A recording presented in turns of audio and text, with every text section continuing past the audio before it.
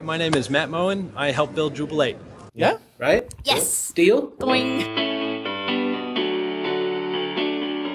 Welcome to the Acquia podcast, Drupal technology, community, and business.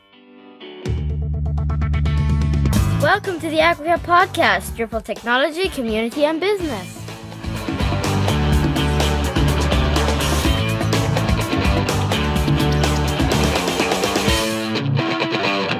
A module for that. There, of course there is. In this podcast, in addition to speaking with Matt Moen about becoming a new Drupal core contributor, hearing from Angie Byron about what it takes to make a patch for Drupal core, and a bonus group Git lesson from the opening pre keynote of DrupalCon Austin, I also recorded the entire first patch process. Some people might even call it a ceremony or a ritual from the sprint day at DrupalCon Austin. It is posted alongside this podcast at acquia.com slash podcasts. So if you're interested in learning more about that process, please head on over and check out the page that this podcast is posted on. So, Matt, I got fake do you say concert Moen? yes. Moen, congratulations on your first patch in Drupal. Thank you. How are you feeling? Excited. It's It was awesome, cool. right? Yeah, it was a great experience. Yeah, I love the energy in the. This is actually my favorite moment at Yeah. DrupalCon. I love the energy in the room for this. So, so let's do the micro version of, of who you are and what you do. So, Yeah. how long have you been doing Drupal? Um, Um, probably about six years now. About six years. Um, what was the first version of Drupal that you worked with? Six. I well, technically five, but I never got anything live with five. Just Okay, six. all so, right. So, what's your first Drupal memory? Uh, you know, it's it's uh, figuring out how much cooler and easier it was to build uh, sort of um, sites that work really well with lots of fields compared to Joomla that I was working with before. So, yeah, Aha. I was a I was a Joomla migrant briefly a long time ago. So, First memory, Drupal much cooler than Joomla. yeah, that's it.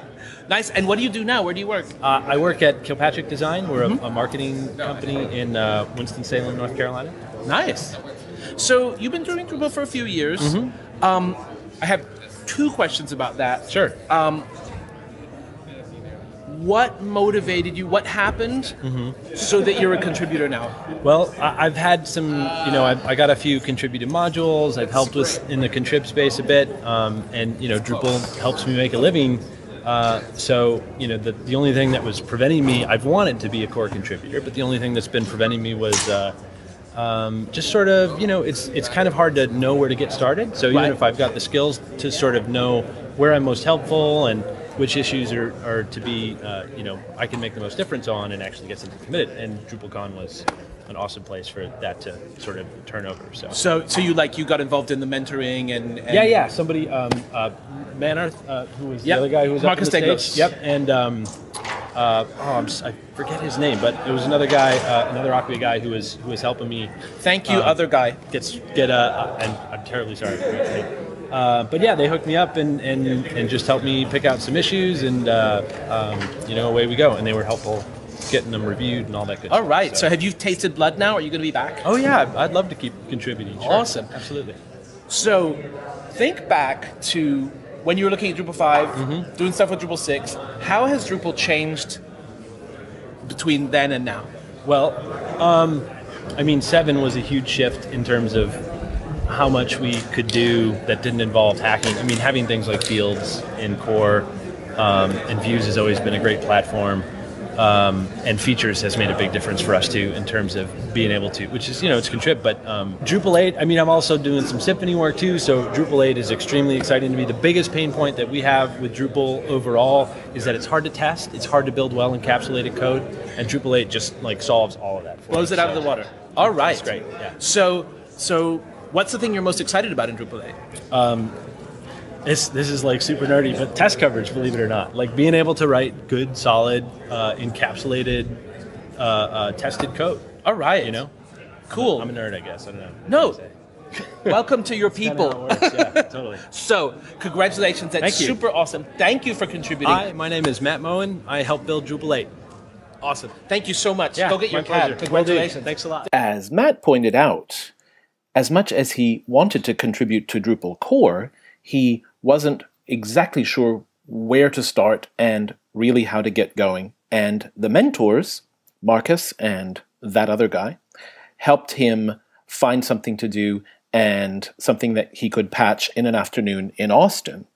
Here's Angie Webchick Byron talking about how it takes a village to write a patch like this and uh, to maintain and improve our CMS. Here's Angie, also at the Sprints in Austin. that it wasn't just a programmer seeing a problem and coding a solution, right? It was actually this thing was worked on by probably like at least 20 or so people. It was someone defined the bug originally, someone to do an initial patch, someone to test to see if that worked or not by uploading different image sizes and see what happens, someone to write the patch that accounted for all of those problems, someone to look into why TestBot was failing, someone to just take screenshots of what was going on, someone else to embed those screenshots in the first post so that people coming through the issue could, you know, learn about that immediately without having to read 400 comments. So it's, it takes a village to do each one of these issues. So I want to really thank everybody who's participating in anything within these core issues because you all make a big difference and we collectively you can change the awesome world. So thanks everybody.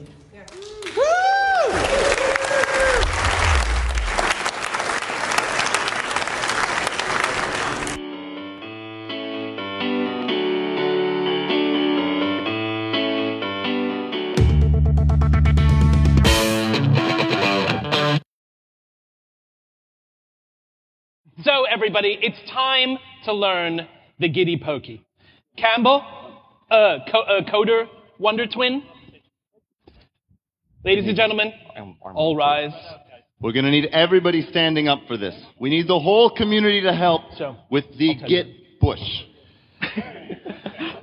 the Patchy Pokey, as I like to call it. you can see the words, right? So I'm going to show you all the actions, and I want everybody to catch the toilet paper and then follow along with me. You push your patches in. Make sure sticking out your tush is very important here. This is this is coding standard. I'm not. I'm not seeing very many people pushing here. Alex, Everybody you know about pushing you push code. your Come on. patches in. You pull your patches out. You push your patches in. Then you fork them all about. Jazz hands. You fork them all about. Jazz hands are critical here. critical. You diff your latest changes, and then you merge into a branch. You see this nice little tree we make here? All right, let's run that through another time. That's what Git's all about. That's what Git's all about. Okay, we're going to do that one more time. A little bit faster now. I like this one. I, you know, I, it's one of my favorites. It's a good song. It never fails to bring a tear to my eye. You push your patches in, you pull your patches out, you push your patches in, and you fork them all about. You diff your latest changes and you merge into a branch. That's what Git's all about. I think we should cue have the any music. I think they've got it. Everybody, patches, Patches in, you pull your patches out, you push your patches in, and you fork them all about.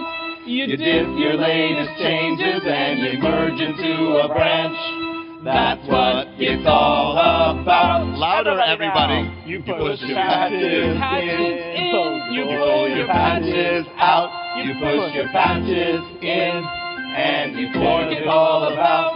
You You diff your latest changes and you merge into a branch. That's what it's all about. Louder! in, you You pull your patches out. I can't You hear you. your Patches in and you fork the code about. something. You dip your latest changes and you merge into a branch. That's what it's all about. Excellent. Hallelujah.